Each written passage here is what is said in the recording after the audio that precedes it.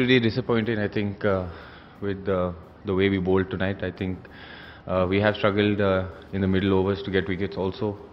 Uh, tonight it was about trying to get wickets. We needed to get Russell and Yusuf out if we had to have a chance today. But again, it didn't come off. So I, as I said, uh, we've got to go back and see the areas that we bowled. We didn't bowl too many balls which were full, but that was the plan. But the execution was pretty poor tonight.